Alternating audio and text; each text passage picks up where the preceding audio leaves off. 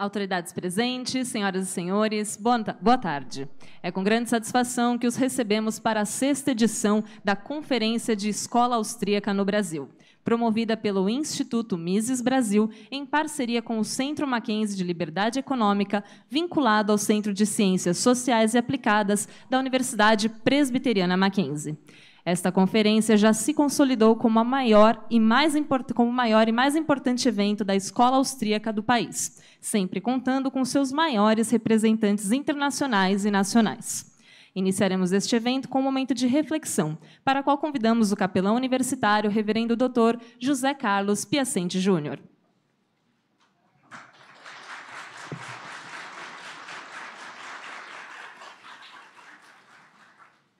Eu que, na verdade, deveria aplaudi-los pela iniciativa, pela maneira como vocês têm feito da nossa sociedade um lugar onde há esperança ainda.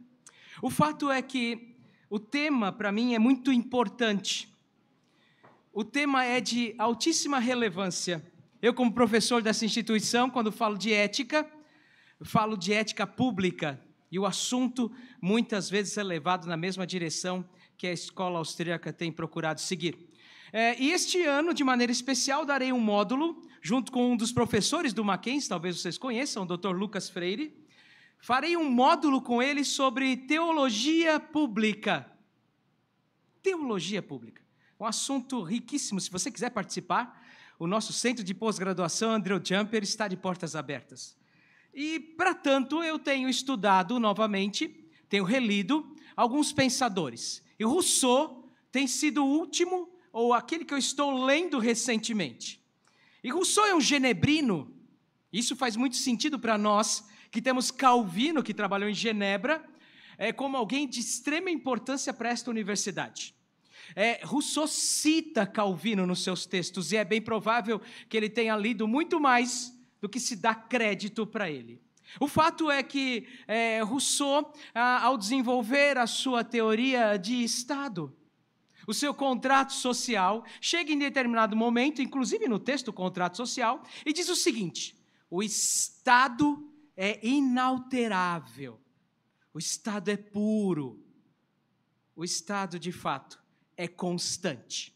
Talvez para alguém com olhos é, treinados para uma outra percepção, não note o que nós teólogos imediatamente percebemos. O que ele está falando são atributos de Deus. Deus é inalterável, imutável. Deus é alguém totalmente puro. É fato que Rousseau está lançando as sementes do que nós chamamos do estado divinizado. Ele é o grande provedor, ele mantém a saúde, ele mantém a educação, ele é o, o, aquele que toma o lugar de Deus. Não é por acaso que Hegel ficou tão encantado com isso, que atribuiu ao Estado a figura do Espírito. O fato é que isso tudo não é novo na história. Divinizar o Estado não é novo na história. Homens que viveram no primeiro século da era cristã, conhecidos como discípulos de Cristo, certa vez se depararam com o Estado romano que era divinizado. César é Deus. E como tal, representa então a figura máxima da divindade naquilo que ele propõe, até nos seus impostos. E esses homens não podiam sair daquela situação. Era impossível para eles vencer o estado divinizado até que um outro homem aparece, o Deus homem, encarnado na figura humana. Jesus é capaz de dar àqueles homens mergulhados num mundo onde não havia solução para se libertar desse estado massacrante, uma frase que até hoje ecoa pela história. Em certo momento, Jesus conversando com os seus discípulos, e o assunto era sobre os impostos do Estado, bastante opressores. Ele então é, conversa com Pedro, olha nos seus olhos e diz para Pedro: Pedro, que moeda é esta que você tem na mão? Ele disse uma moeda do Estado. Qual a figura que tem aí? Ele diz: é César. Jesus então diz a sua frase marcante: Dai a César o que é de César e a Deus o que é de Deus. A partir deste momento, o Estado divinizado passa a entender que ele é limitado, que ele não é Deus. Essa figura está presente entre os cristãos. Essa imagem faz parte do cristianismo. Nós sabemos exatamente é, o que o Estado deve ser, e ele não é divino, ainda que as pessoas queiram divinizá-lo. Ainda que queiram contar com o seu é, amparo em todos os aspectos, não é assim que as coisas devem ser. Verdadeiros homens livres estão livres também de toda e qualquer divindade opressora. Por isso, meus amigos, vocês que chegam até o Mackenzie, saibam que nós, confessionais, nós cristãos confessionais, que ainda ouvimos a voz do mesmo Cristo que diz: Dai a César o que é de César e a Deus o que é de Deus, vocês têm aqui em nosso meio um campo farto para trabalhar, um campo aberto para trabalhar. E mais do que isso, vocês têm a teologia, o olhar do teólogo, vocês têm a interdisciplinaridade do teólogo para enxergar além. Façam bom uso disso. Que Deus abençoe a vida de vocês. E que vocês verdadeiramente cooperem para uma sociedade mais livre, homens livres, mulheres livres. Dai a César o que é de César, mas dai a Deus o que é de Deus. Eu peço a licença de vocês para fazer uma oração. Vocês podem me acompanhar se assim desejarem. Fiquem à vontade, vivemos num país ainda livre. Espero que continue assim. Se você quiser me acompanhar nesta oração, faça isso. Senhor, nós te damos graças, porque em meio a tanta opressão que já está presente em nosso mundo por tantos séculos, é na palavra do Senhor que nós encontramos liberdade. Obrigado, Senhor Deus, porque o Senhor nos fez livres e como seres humanos livres, em Cristo nós encontramos a plenitude daquilo que o Senhor nos dá bondosamente. Abençoe a nossa nação, abre os olhos dos nossos governantes, abre os olhos daqueles que estão à frente do nosso país e usa jovens, homens e mulheres talentosos, capazes, para apresentar de maneira muito clara na academia, nesta academia já tão manchada, uma proposta sólida e verdadeira de como as coisas podem ser diferentes numa nação que preza verdadeiramente a liberdade. Ajude-os, ó Deus, em nome de Jesus, a fazer aquilo que pode de fato transformar esta nação. Nós rogamos as tuas bênçãos e a tua força quando as nossas forças faltarem. Em Cristo nós oramos. Amém.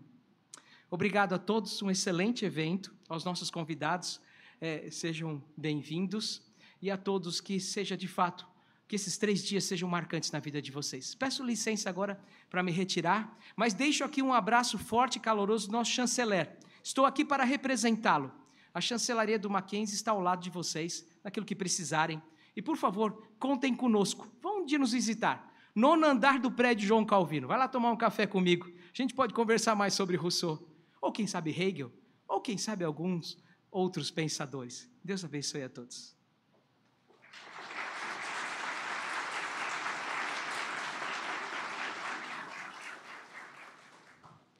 Convidamos agora o coordenador do Centro Mackenzie de Liberdade Econômica, professor Dr. Vladimir Fernandes Maciel, para realizar sua saudação.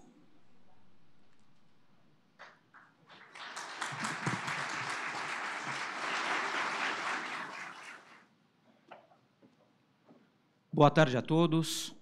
Eu queria dar as boas-vindas à nossa Universidade Presbiteriana Mackenzie e ao Centro Mackenzie de Liberdade Econômica. É, muito nos honra sediar aqui a conferência da Escola Austríaca pela segunda vez já. E eu espero, Hélio, sempre. Até porque nesta semana, é, especialmente, a segunda semana de maio, o Centro Mackenzie Liberdade Econômica comemora três anos de existência. Então, apesar de muitos novos, é, a gente conseguiu ocupar um papel importante no debate liberal e esse espaço da gente, o espaço na academia, é, que o Hélio fala tanto, né, que é o pessoal da retaguarda, o pessoal da zaga, a zaga não tinha zagueiro, né, e hoje a gente tem zagueiro. E, e é especial a gente estar tá aqui com a Conferência de Escola Austríaca, porque o Hélio foi parceiro do centro desde o início. Então, o Instituto Mises, antes mesmo do centro ser inaugurado, a gente já tinha um curso de extensão em investimento em escola austríaca. Então, a, nossa história do centro passa pela história do Mises. Então, é com muito orgulho que a gente recebe a conferência e é, quer ressaltar uma coisa muito importante, que é o papel da gente, nesses próximos três dias, é, não só discutir a perspectiva, o estado atual da escola austríaca no Brasil e no mundo, mas trazer elementos para pensar o Brasil, é, que é esse é um ponto chave que é muito caro ao nosso centro. Né? O nosso centro nasceu com essa preocupação de discutir ideias, problemas né, da economia brasileira.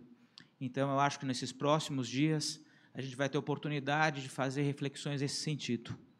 Aproveito também para deixar a saudação do nosso magnífico reitor, Dr. Benedito Aguiar, que infelizmente foi deslocado para uma diligência aqui na universidade durante este horário. Então, ele estaria aqui abrindo o evento, mas ele não pôde. Mas, em nome dele, eu dou as boas-vindas e novamente ressalto a importância deste evento aqui na universidade. Muito obrigado a todos. Bom três dias de conferência.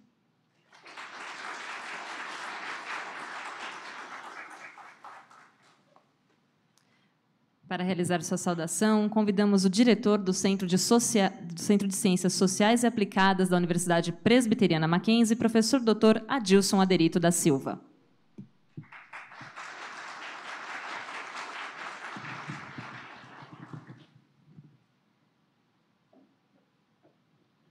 Boa tarde a todos. Prometo que em breve vocês chegarão à palestra e o início desse grande evento.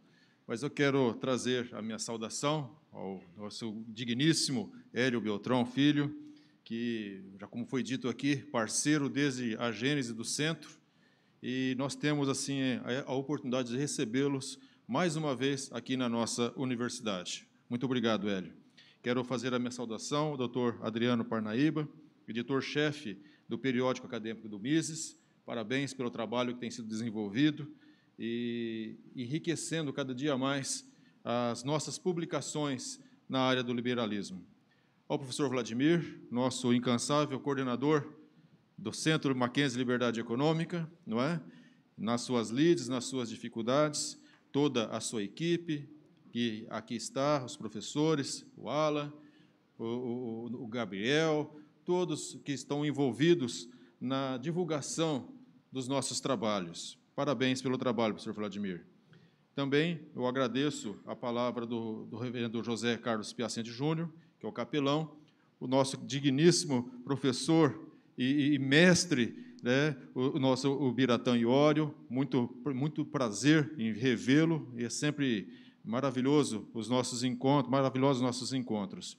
É, o Mackenzie, ele despertou para trazer essa discussão de liberdade econômica num ambiente conturbado e, quer queira, quer não, a inauguração do centro não, não, poderia ter um dia melhor, né, Hélio?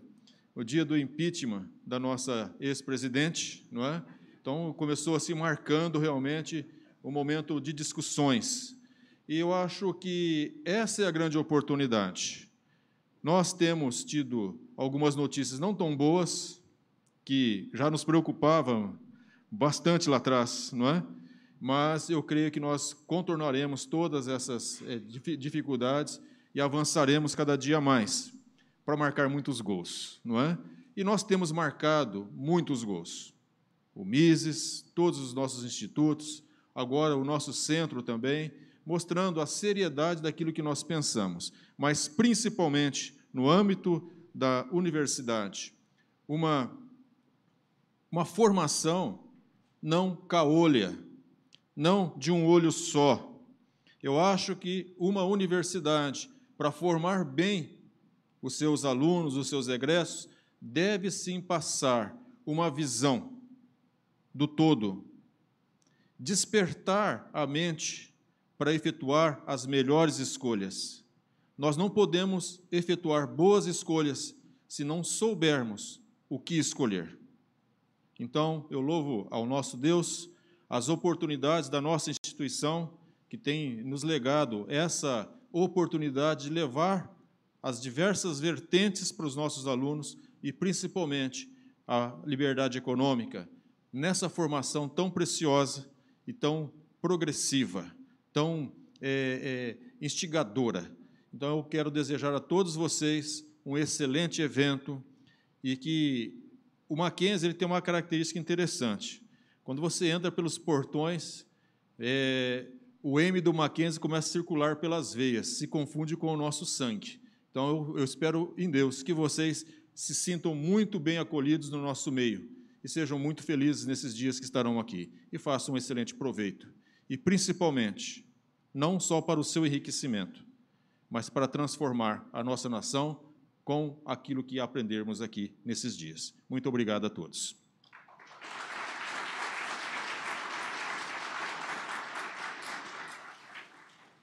Para realizar sua saudação, convidamos o diretor acadêmico do Instituto Mises Brasil, professor Dr. Ubiratan Jorge Ório.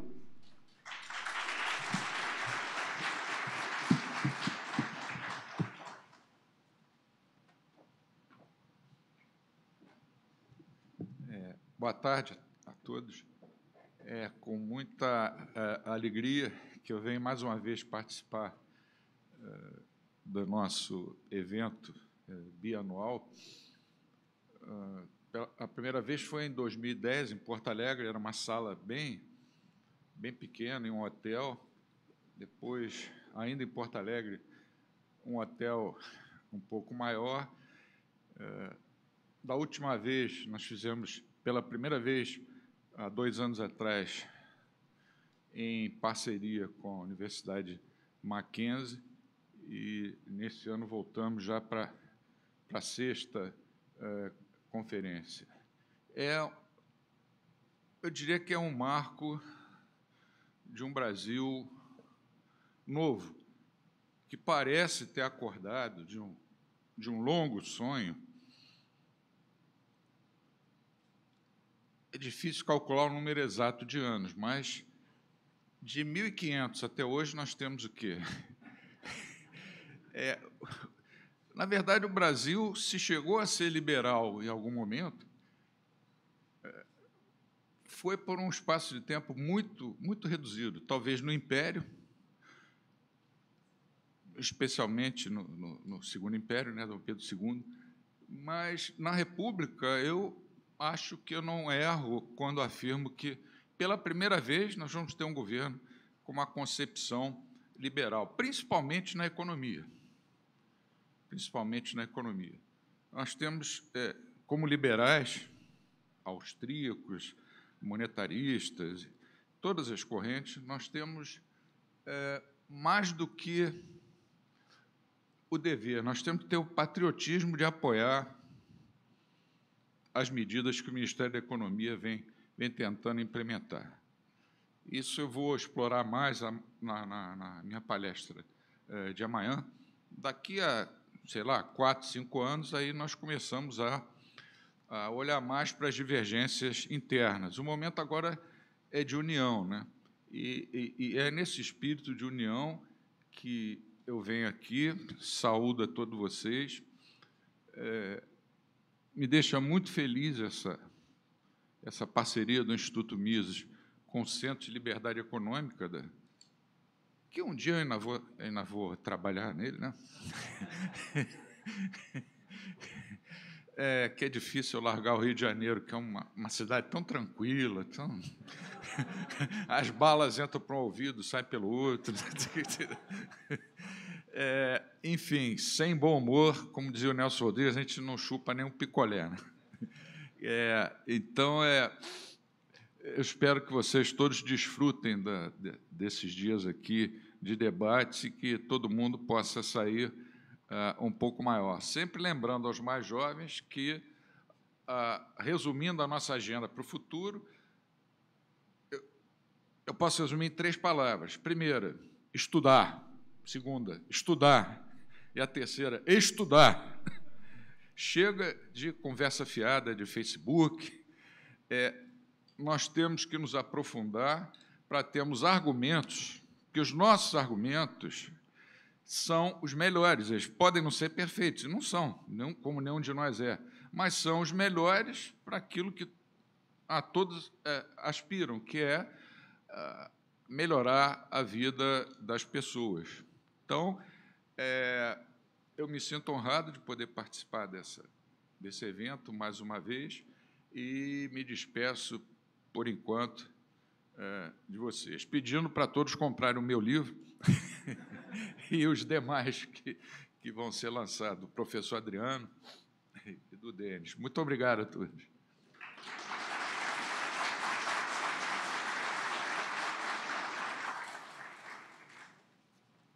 Para realizar sua saudação, convidamos o fundador presidente do Instituto Mises Brasil, senhor Hélio Beltrão.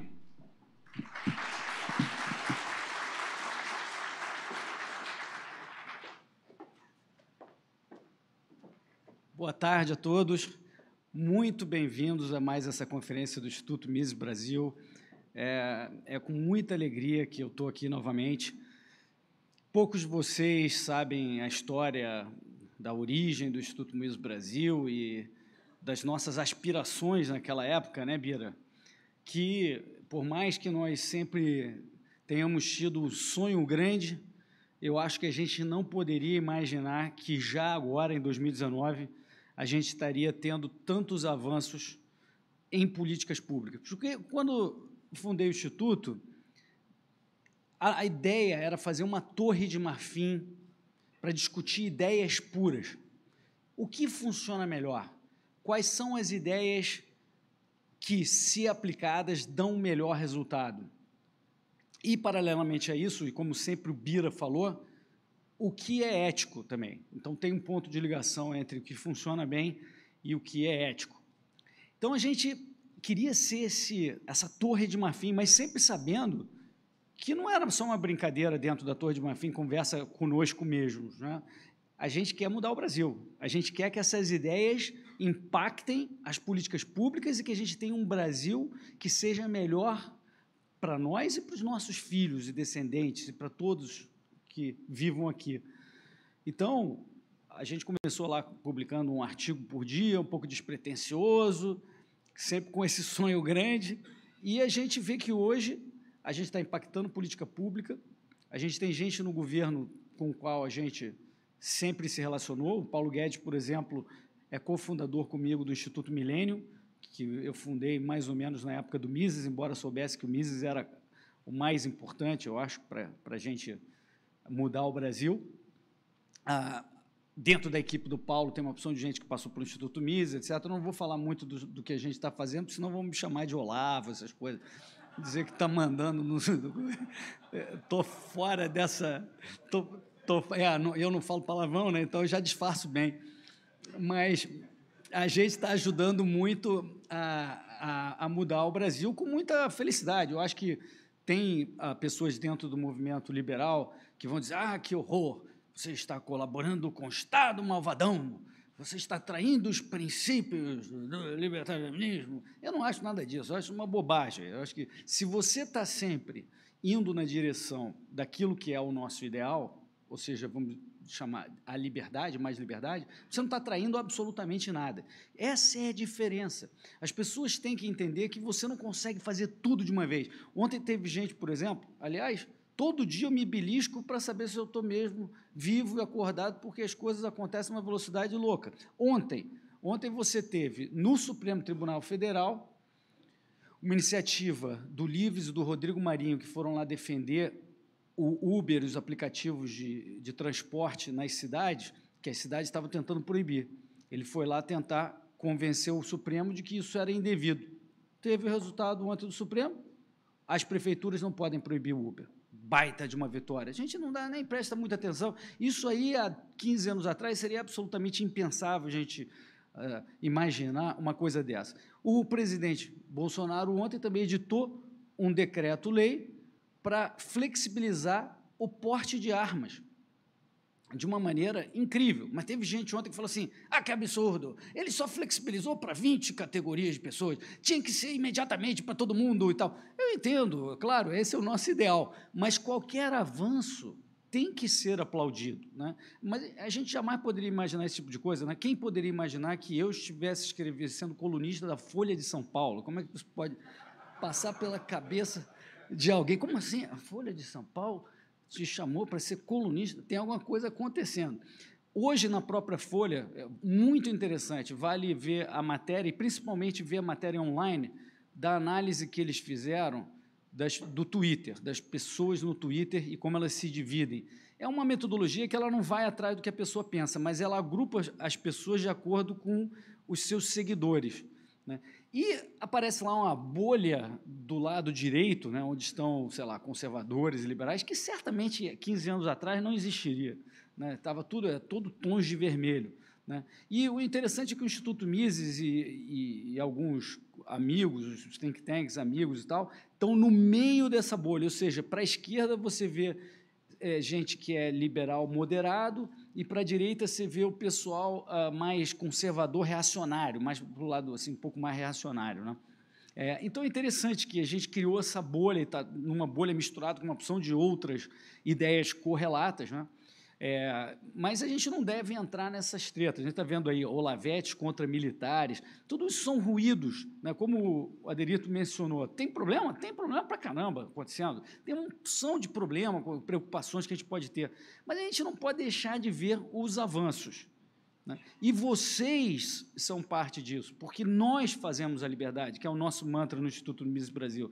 Não é nada só eu, Bira, Vlad, Aderito. Aliás, muito obrigado por nos convidar para ter aqui novamente.